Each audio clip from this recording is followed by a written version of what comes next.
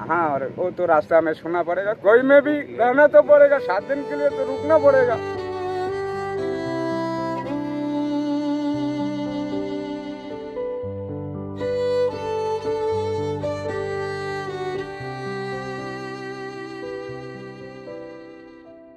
ले गया है बिहार में मेरा लाश बोला है आपका लाश बिहार में चला गया है। तो अभी मेरा बोला है उनका भी डीएन टेस्ट करेगा मेरा भी डीएन टेस्ट करेगा। अभी डीएन टेस्ट में क्या बोलेगा? अभी वो उस, उसका इंतज़ार में है अभी हम। अभी वही तो सोच रहा हूँ क्या करूँगा क्या नहीं करूँगा मैं तो अभी अभी बोलने के लिए मैं नहीं सीख रहा हूँ। सात दिन में रुकने के लिए बोला है। और मैं लाश था लाश को वो लोग दे दिया और मैं लाश को पहचाना है। और वो लोग उसका डॉक्यूमेंट आधार कार्ड से और एक टू फ़ोटो से उनको लाश दिया है बिहार का आदमी को। और बोला फोर्टी सिक्स का उम्र का लड़का वो है। वैसा बोल के दिया। और ये फोर्टी सिक्स उम्र का लड़का नहीं है। हमारा बेटा बाईस साल का है। और मेरा एकदम सेम टू सेम मिलता है।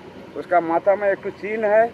वो लाश का भी माथा में एक चीन है। हमारा फ़ोटो में भी, लड़का का फ़ोटो में भी उसका एक माथा में चिन्ह है। इधर में तो इधर में बोल के हम लोग को एक जगह दिया था दो दिन के लिए, रुकने के लिए। दो दिन हो गया तो बोला है आपको आज से दूसरा जगह देखना पड़ेगा। वो निकाल दिया। हाँ अभी उधर से हमको बोला आप आज से दूसरा जगह देखो। तो रेलवे स्टेशन बोला है आपको रहने के लिए आपको व्यवस्था करा जाएगा।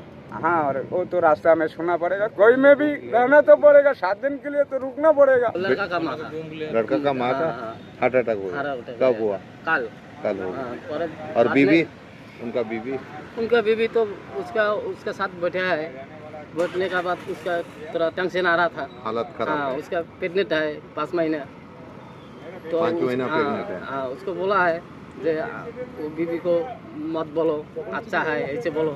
हाँ। ନିଶ୍ଚିତ ଭାବରେ ଏଇ ତ ଦୁଇ ତିନି ଦିନ ଦୁଇ ଦିନ ହେଲା ସେଇ ପ୍ରୋବ୍ଲେମଟା ଆସୁଛି ଯେ ଗୋଟେ ବଡ଼ିକୁ ଅ, ଦୁଇ ତିନୋଟି ଫ୍ୟାମିଲି ଚାରୋଟି ଫ୍ୟାମିଲି ମଧ୍ୟ କ୍ଲେମ୍ କରୁଛନ୍ତି କି ଏଇଟା ଆମର ବୋଲି କାରଣ ବଡ଼ି ତ କୌଣସି ଜିନିଷ ଜଣାପଡ଼ୁନି ଅ, କିଏ କପଡ଼ାରୁ କହୁଛି କିଏ ଅ, ମୁଦିରୁ କହୁଛି ଏମିତି କହୁଛନ୍ତି କାହାର ଆଙ୍ଗୁଳି କଟିଯାଇଛି ଟାଟୁ ଥିଲା ବୋଲି କହୁଛନ୍ତି ଏମିତି ସବୁ ବିଭିନ୍ନ ଅ, କଥାକୁ ନେଇ କୁହାହେଉଛି କିନ୍ତୁ ସେମିତି ତ ଦେଇ ହେବନି ତେଣୁ ଭେରିଫିକେସନ୍ ଆମେ ସାଇଣ୍ଟିଫିକ୍ ୱେରେ କରିବା ଯେଉଁଟାକି ଡିଏନ୍ଏ ଟେଷ୍ଟ ତେଣୁ ଡିଏନ୍ଏ ଟେଷ୍ଟକୁ ଆମେ ବିଶ୍ୱାସ କରୁଛୁ ଡିଏନ୍ଏ ଟେଷ୍ଟ ପାଇଁ ଯାଇଛି ତେତିଶଟା ଯାଇଥିଲା ଏବେ ଆଉ ଯାଇଛି ଟୋଟାଲ୍ ପଚାଶଟି ଯାଇଛି ତାର ରିପୋର୍ଟ ଆସିଲା ପର୍ଯ୍ୟନ୍ତ ତ ଆମକୁ ବଡି ରଖିବାକୁ ପଡ଼ିବ ସେ- ସେଇ ଅନୁସାରେ ଚିହ୍ନଟ କରାଯିବ ଆହୁରି ମଧ୍ୟ ଫ୍ୟାମିଲି କିଛି ଆସିଛନ୍ତି ସେମାନେ ଏବେ ମଧ୍ୟ ବସିକି ଦେଖୁଛନ୍ତି ସେ ପିକ୍ଚର ସେ ମଧ୍ୟ ଏବେ ତ ତେଣୁ ଅ, ଆମେ ଚେଷ୍ଟା କରୁଛୁ ଯେ ସମ ଯେମିତି ସମସ୍ତେ ଯଦି ଆଇଡେଣ୍ଟିଫାଏ କରିପାରିବେ କୌଣସି କାରଣରୁ ମଧ୍ୟ ତାଙ୍କ ପରିବାର ବର୍ଗକୁ ବଡି ହସ୍ତାନ୍ତର କରାଯିବ